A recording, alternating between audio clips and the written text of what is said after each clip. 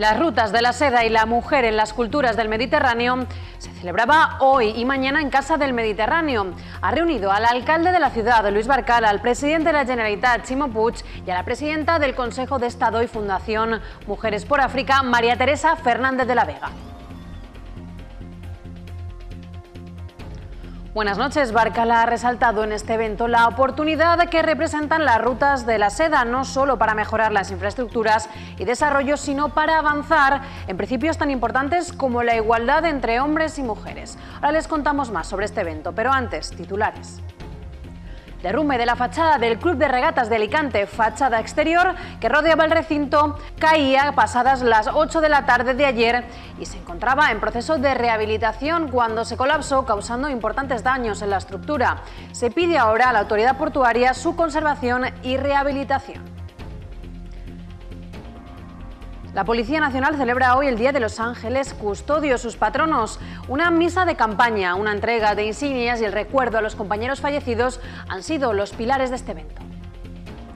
Moros y Cristianos 2019 en Campello, marcados por la prevención y la disminución de riesgos asociados al abuso del alcohol, consumo de drogas y agresiones sexistas. Para ello nace la campaña Modo Dino a los malos rollos. En cuanto a los deportes, Aitor Baró, el Hércules ha encomendado hoy la temporada a la Virgen del Remedio y a San Nicolás en su tradicional visita a la concatedral. Quizás encuentran aquí la ayuda divina que necesitan. Buenas noches Isabel. Eh, todos los fichajes eh, son buenos eh, si ayudan a sumar, aunque en este caso se trata más de una tradición que otra cosa. Habrá quien piense que no está mal también encomendarse a la ayuda divina, como decías. En cualquier caso, el Hércules ha acudido a San Nicolás, como hace todos los años, a rendir tributo y después ha sido el capitán, Diego Benito, quien ha pasado revista a una situación complicada en el Hércules. Después, en el tiempo de deportes, ampliamos todo lo que ha dicho el centrocampista y hablamos también de fútbol sala femenino.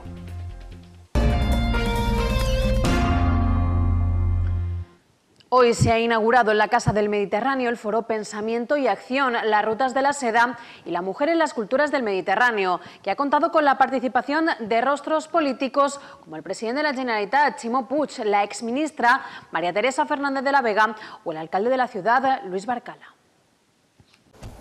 El papel de la mujer en las culturas del Mediterráneo es fundamental. Hoy era día de ponerlos en valor en una mesa de debate y exposiciones en el marco del foro Pensamiento y Acción. En estos momentos, además, que vamos a celebrar la semana que viene la fiesta de las valencianas y los valencianos, queremos mostrar una vez más nuestra suma de identidades, lo que somos. Eh, frente al identitarismo, frente a la homogeneización, existe el feminismo, existe lo que son las grandes corrientes de la paz. Y la paz está sustentada en estos momentos en gran medida en las mujeres. Y parece que el mar Mediterráneo ahora es foco de conflictos. Creo que es eh, el momento de, dar a este mar de culturas eh, que es nuestro mar Mediterráneo mm, lo que ha sido siempre, un mar de culturas positivo, de desarrollo, ah, borrando un poco esa imagen últimamente eh, que se está trasladando. Y en la tarea de borrar también está la tarea de poner en el centro a la mujer. Y queremos colocar además en el centro de ese, de ese ámbito de trabajo a las mujeres, porque las mujeres son portadoras de paz en, en África y en todo el mundo. María Teresa Fernández de la Vega, como presidenta de la Fundación Mujeres por África, trata de reivindicar el feminismo en todos los países del mundo. Igualdad más que necesaria. Todo lo que tiene que ver con las mujeres tiene que ver con la vida. Y cuando hablamos de paz tenemos que hablar de vida, de todo lo que tiene que ver con la vida. Y ahí en el centro de la vida, en el centro de, la, de todo lo que da la vida y lo que favorece la vida en paz y en progreso, ahí están las mujeres. Igualdad que está lejos de conseguirse en los países menos desarrollados, sobre todo lejos de Occidente. Los niveles alcanzados en Occidente, en Europa en particular, no son exactamente los mismos que nos podemos encontrar en muchos de los países que atraviesan esta ruta de la seda. La importancia y la responsabilidad que tenemos de trasladar la necesidad de, esos principios de igualdad y de igualdad a todos los niveles y de derechos en particular. Profesoras, diplomáticas y expertas han participado en este foro con el objetivo de sacar conclusiones y propuestas que contribuyan a conseguir acercarse a la igualdad y la paz de las mujeres en el Mediterráneo. El presidente, al concluir el acto, hablaba de un tema recurrente en la autonomía, la infrafinanciación con respecto al Estado. Con la nueva convocatoria de elecciones se instaba al nuevo Ejecutivo Nacional a dotar a la comunidad de unos presupuestos justos. Nosaltres tenim un model que hem plantejat en distintes ocasions que parla d'igualtat entre ciutadans i singularitat entre territoris. Entenem la singularitat dels territoris, el que no es pot, a través de la singularitat, acabar generant una desigualtat i una discriminació objectiva. Per tant, el model que nosaltres plantegem és un model que atengue al principi bàsic, que és la igualtat entre els ciutadans. El que no pot haver en aquests moments les diferències que hi ha de tracte entre uns ciutadans i uns altres dins d'Espanya. Respondía en este enclave también el alcalde de Alicante respecto a la convocatoria del debate del Estado de la ciudad solicitado por Compromís, señalando que en periodo electoral no se puede convocar este tipo de debates y que solo podrá hacerse cuando lo único de lo que se hable sea la ciudad de Alicante. El señor Bellido, en fin, parece que piensa que los demás no estamos en este mundo, probablemente porque el que no está pisando tierra es él. Vamos a ver, ¿cómo vamos a convocar un debate del Estado de la Ciudad en plena campaña electoral de elecciones generales? Si el señor Bellido quiere un debate, eh, un debate electoral, que lo diga con claridad. El debate del Estado de la Ciudad es para hablar de Alicante y de la ciudad de Alicante. Y ese debate se producirá cuando lo único de lo que haya que hablar es de Alicante, no de otros temas ni de elecciones generales. En la tarde de ayer, poco antes de las 20 horas, el techo de la fachada de la antigua dársena portuaria, conocido como el Club de Regatas, que se encuentra en proceso de rehabilitación, se colapsó, causando importantes daños en la estructura. Se trataba de la fachada exterior que rodea el recinto de la entidad y ante estas grietas ocasionadas y el peligro de derrumbe, a eso de las 9 de la noche, una piqueta tiró toda la fachada sur del edificio. Luis Barcal ha señalado a preguntas de los informadores que el ayuntamiento va a exigir tanto al puerto como al Real Club de Regatas que la rehabilitación de la fachada se haga conforme a su configuración original, pues es parte de la imagen de Alicante. El ayuntamiento lo que va a exigir y eh, a ese efecto pues hará las declaraciones oportunas el, concejal de, urbanismo, es exigir tanto al puerto como al propio club de regatas de que la rehabilitación y la restauración de la fachada se haga respetando al máximo su configuración original creo que es indispensable, forma parte de, la imagen de, la ciudad de Alicante y por tanto nosotros lo que vamos a pedir es y vamos a exigir además que esa rehabilitación se realice con prontitud y además con el, respeto absoluto a la configuración que tenía eh, eh, la fachada que ha colapsado por las obras que se estaban realizando.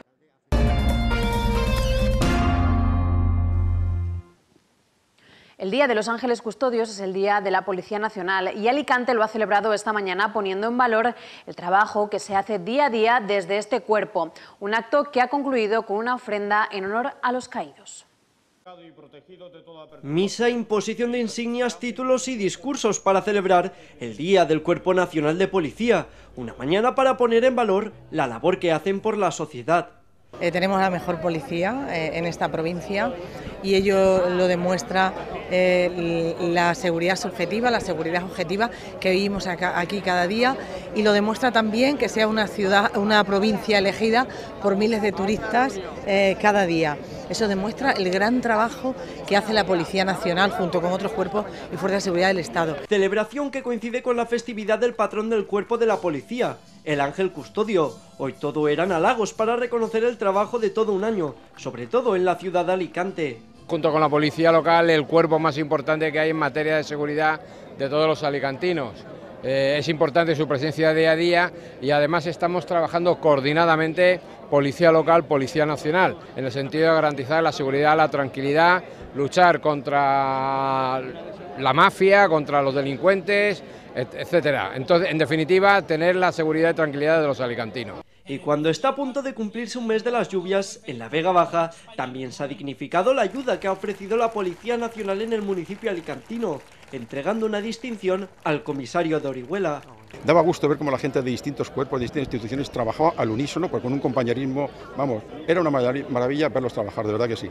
Y tengo que decir también con mucho orgullo que en cuanto acabó la fase crítica, digamos, de las inundaciones, hemos establecido un servicio de protección de los polígonos industriales, de las casas, para evitar el pillaje. Y se ha evitado totalmente. Hay una sola denuncia que ha desaparecido una bomba de achique. Eso es todo lo que tenemos, resultado de las inundaciones, y eso de verdad es para felicitarnos. Y en Orihuela precisamente estará mañana la Policía Nacional de Alicante para celebrar junto a ellos la fiesta del Ángel Custodio, que se ha retrasado un día. Los de la Super que han estado allí trabajando van a ir allí también y hemos retrasado un día la festividad del patrón de Orihuela porque queremos estar acompañados de los compañeros y de verdad pues dándoles un abrazo y dándoles las gracias porque han hecho un trabajo extraordinario. Y entre celebraciones y palabras de enhorabuena, reivindicaciones, la feminista, la necesidad de seguir apoyando a las mujeres a que entren en el Cuerpo Nacional de Policía, que cuenta con un porcentaje muy bajo de agentes. Yo siempre seguiré diciendo, no solamente en la policía, sino en el resto de administraciones, que la mayoría, por lo menos de cuerpos y fuerzas de seguridad del Estado, todavía siguen siendo inferior al número de hombres. Luego yo como mujer tengo que reivindicar que tenemos que seguir mejorando la plantilla también, el número de mujeres. Y por eso, eh, ahora que se celebra el 40 aniversario de la incorporación a la mujer, pues yo creo que era un buen momento para reivindicar eso. Y reivindicaciones más concretas como la de mantener y fomentar la brigada ciudadana en barrios que lo necesitan. Yo me encontré una macrobrigada de seguridad ciudadana ubicada en la Consejería Provincial y a mí me gustaba la cercanía. Los policías tienen que estar cerca de su barrio, conocer su barrio, patrullar su barrio y estar cerca de los ciudadanos. No pueden estar a 5 o 6 kilómetros. Hemos conseguido potenciarlas, están funcionando los chavales de una forma extraordinaria, están motivados, implicados en su barrio y yo creo que eso es muy importante, sobre todo en el barrio norte, donde yo creo que, que si nos descuidamos un poquito eso puede, puede degradarse poco a poco y hay que estar muy pendientes ahí y muy encima. Tras el acto institucional, el Cuerpo de Policía Nacional ha organizado una comida con más de 500 asistentes para acabar de celebrar su día. Alicante va a rendir un emotivo homenaje mañana a los bomberos del Space y a los voluntarios de protección civil del Ayuntamiento por el excepcional trabajo de auxilio, rescate y salvamento de personas realizado en las inundaciones ocurridas en la Vega Baja. El reconocimiento público tendrá lugar en la gala del Día de la Paz organizada por las Fundaciones de Servicios Familiares de la Comunidad Valenciana y Jorge Alió, acto que se celebra por la tarde donde los cuerpos y fuerzas de seguridad municipales que participaron de forma voluntaria y fuera del servicio recogerán el galardón. El concejal de Seguridad, José Ramón González, señaló que el ayuntamiento se siente profundamente orgulloso de estos bomberos y voluntarios de la agrupación de protección civil que desde el primer momento estuvieron dándolo todo en numerosos rescates de personas atrapadas en sus viviendas, llevando víveres en localizaciones completamente anegadas o realizando búsquedas de las personas desaparecidas. Hoy cambio de tornas en la tercera jornada del juicio del caso Comercio en la Audiencia Provincial de Alicante. La declaración de los letrados de la asesoría jurídica del Ayuntamiento en esta tercera sesión del juicio por el supuesto fraccionamiento de contratos viene a contradecir las apreciaciones formuladas por el interventor municipal en su testimonio del martes y acrecientan aún más las dudas sobre si fue legal o no el procedimiento por el que se tramitaron los 25 encargos bajo sospecha entre noviembre y diciembre de 2016, bajo el mandato del socialista Gabriel Echavarri. Manuel Cordón y Pablo Núñez de Cela han confirmado que, en su opinión, tampoco existió un fraccionamiento. En esta línea han coincidido en que así se manifestó en esa reunión con Echavarri, en la que participó junto a Cordón y también ha ratificado que el informe en el que se elaboró no recogía conclusiones ni se pronunciaba sobre la existencia o no de fraccionamiento porque ese extremo era de la estricta competencia del interventor.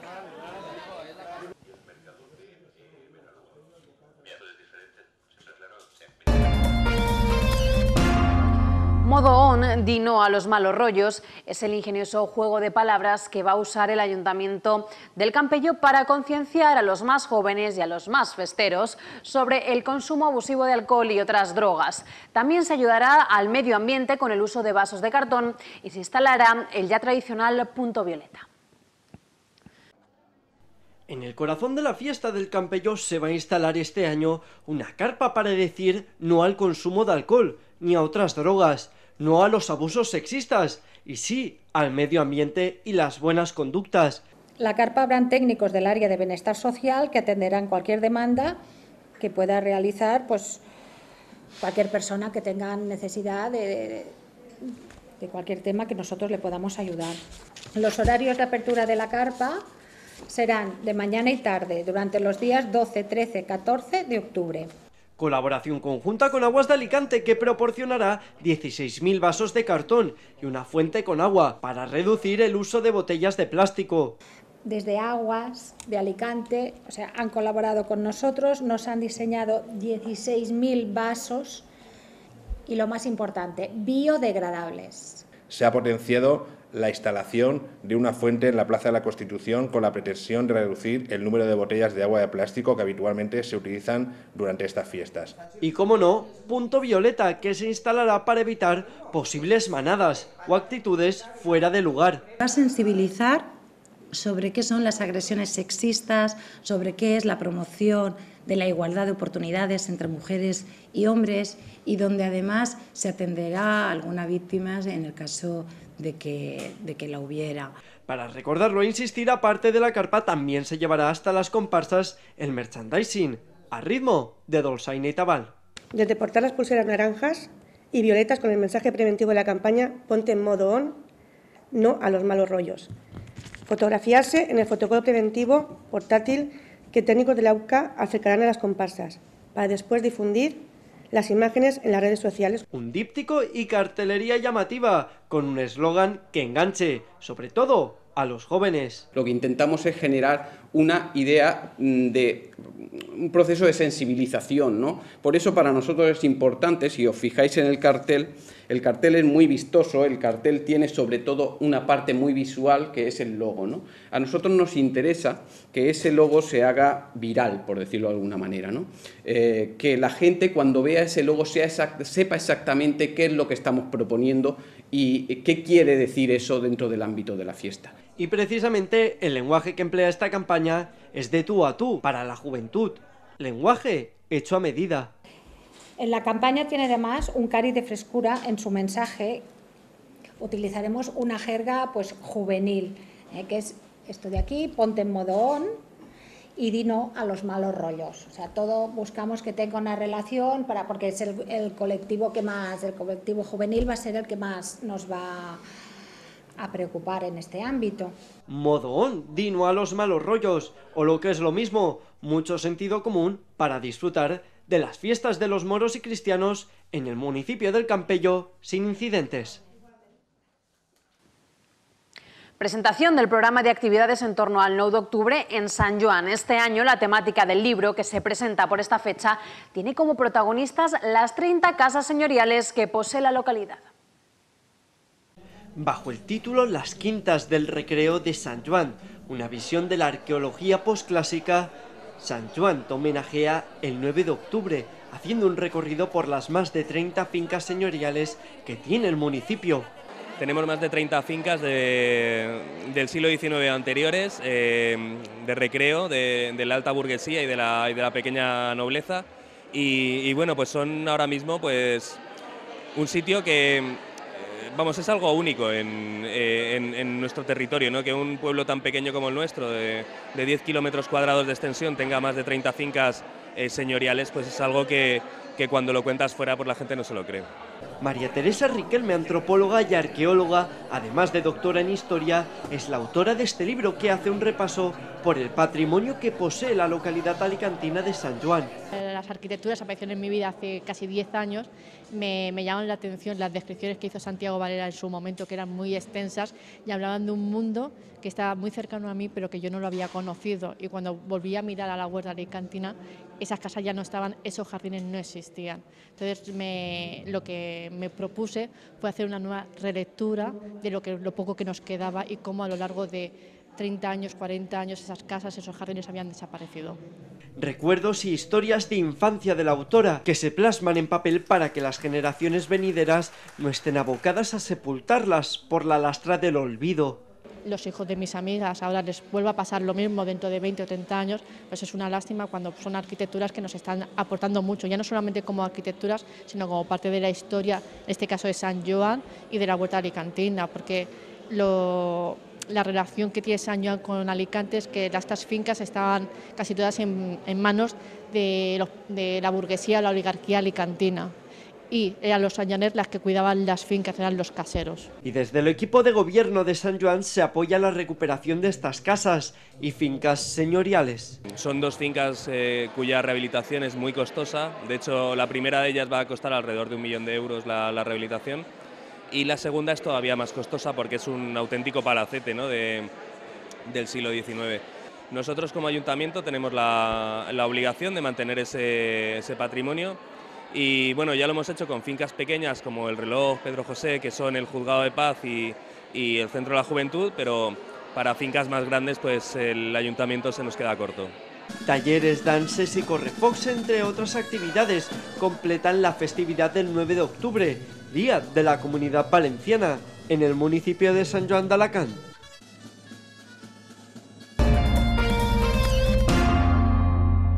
Deporte y solidaridad de la mano. La asociación Lola Busca Nueva Imagen y el Club de Pádel de Alicante aunaban fuerzas para seguir haciendo posible el acompañamiento psicológico, educativo, jurídico e incluso estético de los niños y jóvenes que padecen o han padecido enfermedades oncológicas o raras. Si el deporte es un medio para mejorar la calidad de vida, fomentar la integración y crear redes de apoyo, la asociación Lola Busca Nueva Imagen ha encontrado su espejo este grupo de profesionales tiene, entre otros, estos objetivos para hacer mejor la vida de niños y jóvenes que tienen o han tenido una enfermedad oncológica o rara. Hacemos determinados eventos anualmente eh, con la finalidad de dar difusión, que nos conozca la gente y de alguna manera eh, lograr unos recursos económicos que nos sirven para eh, poder sufragar los gastos que conlleva la atención a todos los niños. Se trata de una atención psicológica, educativa, social, estética e incluso jurídica que se sustenta a través de eventos, como el de este fin de semana, que hace realidad su ayuda a este colectivo. Aquí realmente lo que se prima es el participar en la jornada, el colaborar y realmente aparte de que hay un sorteo al final de la jornada para todos los participantes, eh, los trofeos pues son eh, copas para campeones y subcampeones de oro y medallas para campeones y subcampeones de plata. No es tanto el premio en sí de lo que se van a llevar, sino el hecho de venir aquí, jugar, que es lo que más nos gusta, y colaborar. Colaboración activa de los participantes, la organización y también del Ayuntamiento de Alicante, que se implica como siempre en eventos como este. Un pádel que aparte de ser eh, la parte competitiva social que estáis viendo está pensado desde sus orígenes para ayudar a una serie de asociaciones para la inclusión de, una serie de, chavales. Que el deporte, esto que todo el mundo utiliza de una forma muy bonita eh, turísticamente y para una serie de cosas, que para una vez más sirva para ayudar a una cosa tan seria como es una asociación de este estilo. Ayuda que garantiza que paso a paso y granito a granito los niños que pasan por esta realidad reciban el cariño, la cercanía y la posibilidad en su día a día. Alinur daba un salto este fin de semana. Organizaba una jornada de coaching y crecimiento personal que ahondaba en la necesidad de hacer realidad aquello que proyectamos. La asociación, que da herramientas a los jóvenes con discapacidad intelectual, mostraba su satisfacción por este evento. Todo comienza con un salto, con un empujón, con la determinación de querer conseguir algo. Esta premisa es la que mueve cada día a Alinur, y durante este fin de semana la ponía todavía más de manifiesto.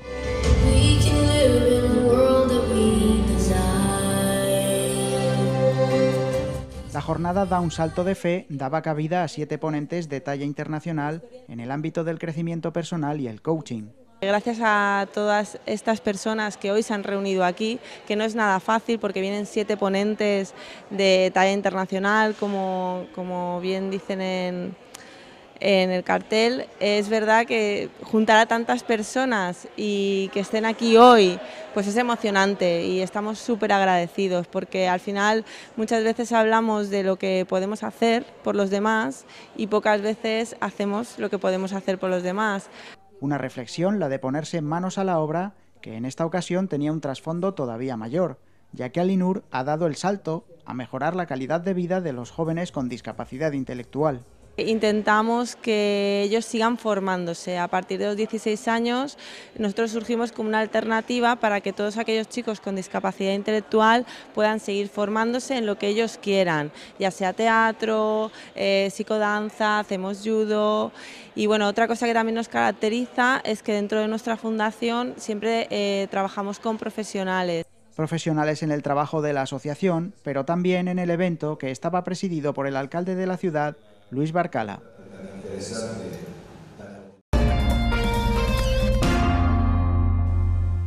En los deportes, Aitor Baroya, nos contabas que el Hércules pedía hoy a la alcaldesa perpetua de la ciudad y al patrón de Alicante por el bien del equipo.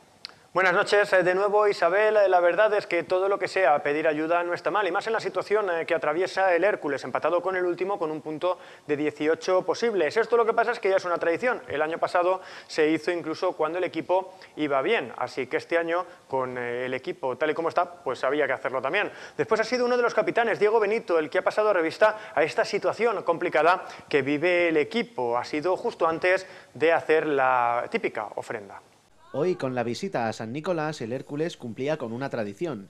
Lo hace en una situación complicada para el equipo y uno de los capitanes, Diego Benito, hacía autocrítica. No, yo creo que hay que ser autocríticos y creo que bueno, no, hemos estado tampoco al, nivel que se nos exige y creo que eso tenemos que cambiarlo y, bueno, sobre todo creo que bueno, que nos han penalizado también mucho los errores en, los partidos y, y, bueno, hay que intentar pulirlo, intentar tener los mínimos errores posibles porque, porque sabemos que nos están penalizando. Eso sí, el centrocampista no cambia de objetivo todavía, aunque recurre al partido a partido para no obsesionarse y que no influya negativamente. No, yo creo que a día de hoy no, pero sí es cierto que tenemos que ir partido a partido y no obsesionarnos ahora mismo con un objetivo, sino el primer objetivo que tenemos ahora es, ganar un partido, el, más cercano que es el domingo y, y a partir de ahí pues ir ir trabajando semana tras semana para ir cogiendo otra vez las sensaciones de, equipo que quiere estar arriba y, y yendo poco a poco, ya te digo.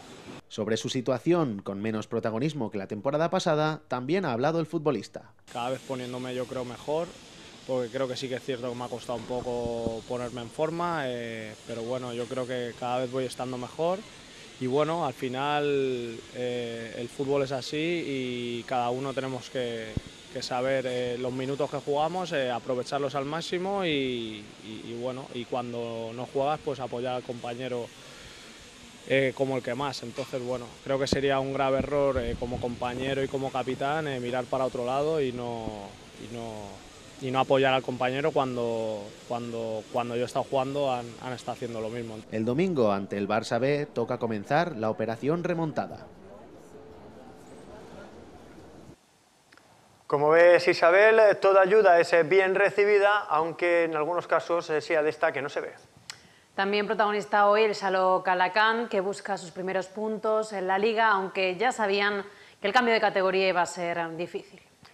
Sabía muy bien el Xaloc que el eh, cambio de segunda a primera división iba a ser complicado, que el eh, nivel es eh, muy alto y que los errores se pagan muy caros. En tres partidos las alicantinas todavía no han puntuado. Tuvieron opciones y muy serias de conseguirlo en el primer partido. Sin embargo, acabaron perdiendo por la mínima. Después, un mal partido y un rival muy complicado, el de la tercera jornada, han hecho que todavía no se hayan estrenado. Pero es algo que, como decíamos, el Xaloc ya sabía, lo contaba María Molina, que ha estado con nosotros antes eh, de ese partido frente a Jimber Roldán del próximo sábado en el que esperan por fin poder estrenar su cuenta de puntos. Éramos ya muy conscientes del salto que dábamos y que la primera división es una división muy exigente y que era muy difícil empezar pues con buen pie somos muy conscientes de nuestras limitaciones y que hay equipos contra los que todavía no estamos preparados para competir, como, bueno, como se vio el sábado. El Ourense es un equipazo que lleva muchísimos años en primera, tiene jugadorazas y, y bueno, pues fueron superiores de principio a fin y, ya está. Queda ahora mismo solo pensar ya en el siguiente y, y dar ese, intentar dar un pasito más adelante para, para poder conseguir eh, puntitos. Sí, evidentemente, el partido contra Leganés hace dos semanas fue, fue horrible y de Orense, a pesar del resultado que es mm, igual de malo, sí que sacamos cosas positivas, vemos, vemos cierta evolución en el equipo, pero ya te digo, vamos dando pasos muy pequeños. Pero bueno, esperemos que sean pasos seguros para, te digo, poco a poco poder puntuar. Sí, ese, ese es el ánimo del grupo, ya pensar en el partido del sábado contra Roldán, sabemos que también va a ser un rival durísimo pero queremos ganar en casa o por lo menos puntuar para, para engancharnos un poquito de eso que tú dices, ¿no? de, de puntuar y coger una dinámica un poco más positiva. Y es que en esta categoría los errores no se perdonan y la Universidad de Alicante, como ya sabemos, ha cambiado de entrenador. Carlos Navarro vuelve a hacerse cargo de las universitarias que tampoco han empezado nada bien. Muchas gracias, Aitor. Seguimos muy pendientes de toda la actualidad de la comarca de la Lapagantí en temas de deportes. Gracias. Buenas noches. Hasta aquí el Inforacantí de hoy. Nos despedimos. Les esperamos mañana a las ocho y media con toda la actualidad de la comarca del Alacantí. Buenas noches.